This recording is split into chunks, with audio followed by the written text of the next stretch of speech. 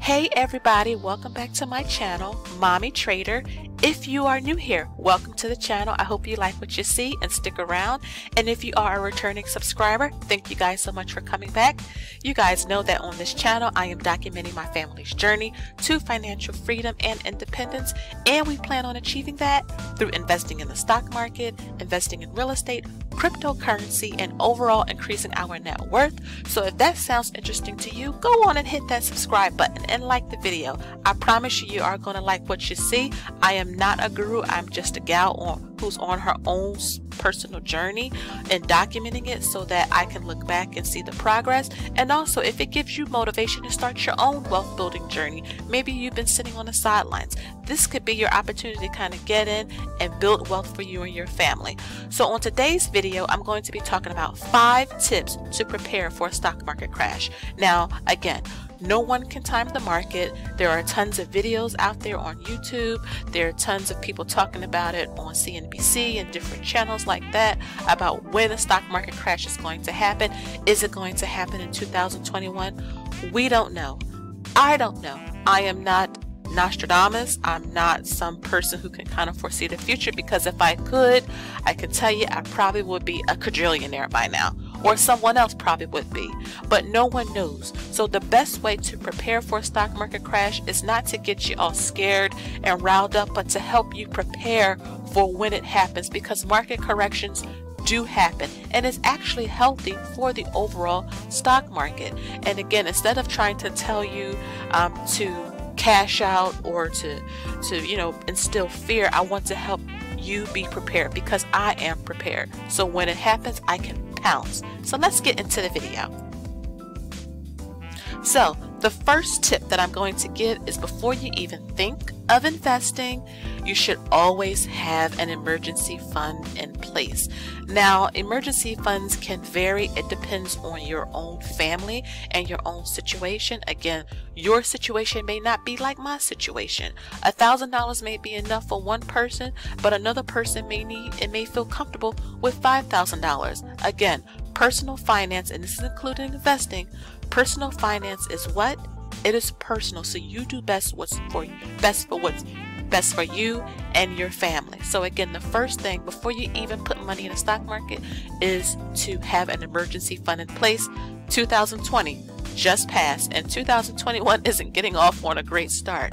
So you always should have some cash to fall back on and not keep invested. It should be in a high yield savings account, and high yield is kind of funny nowadays because you're not really getting a whole lot in terms of interest. But again, something is better than nothing, and the idea is you want to keep your emergency fund somewhere where it is easily accessible. You don't want to have to cash out positions, and then you may have to wait for your money to settle because you were invested in a particular stock or fund, but rather you can have it in an account where you can kind of go and get it if you need it.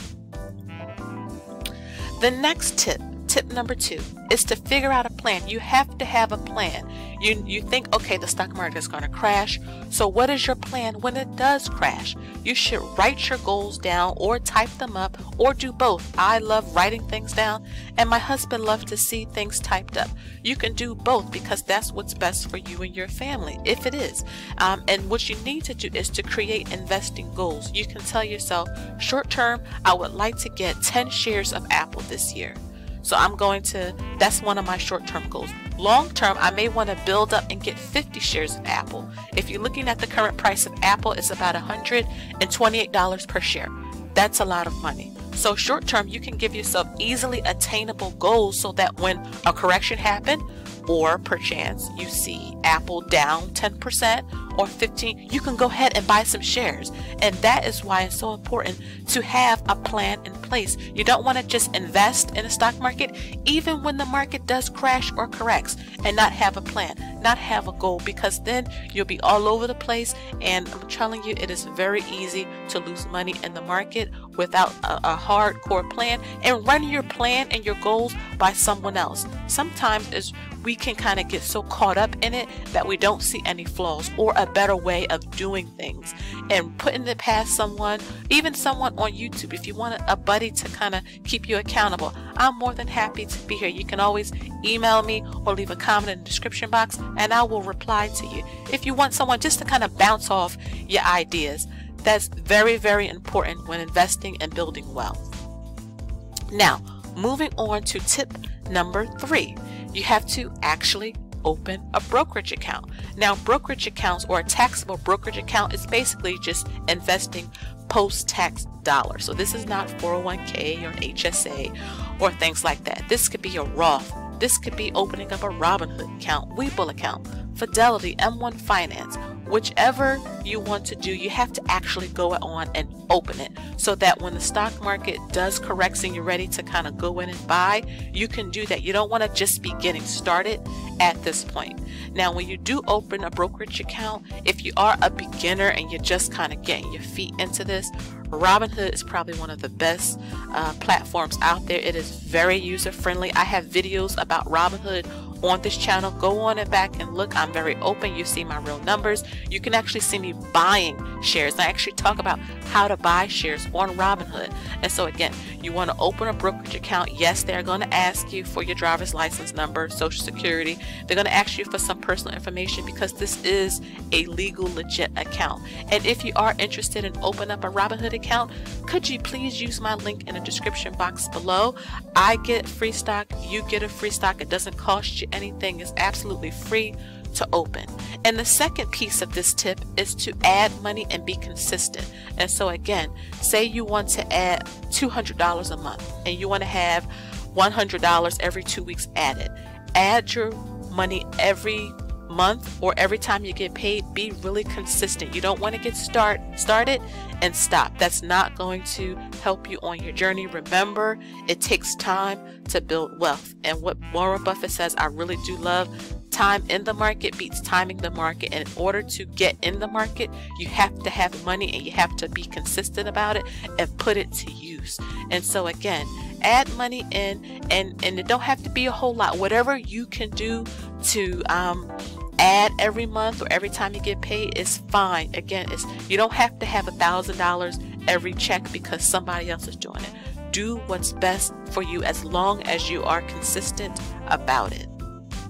Now, tip number four is to once you put your money in your Robinhood or your M1 Finance or whatever account you have, you don't want it just to sit there because again, it's not making money for you. It's not working.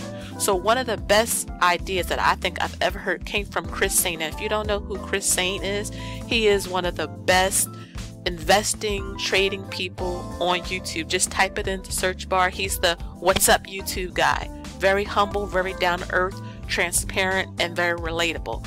One of the things he says that I really love is that when you are waiting for a correction or you ready you're waiting to get in to a stock that you know hits your price point hits your strike price price the price where you want to get in at you need to hide your money in a safe stock or an ETF or index fund something that doesn't shoot up too much or falls too much it kind of really does trade sideways but something that pays a dividend and so some of the safe stocks and funds that I have used and have seen other people use is AT&T which is ticker T.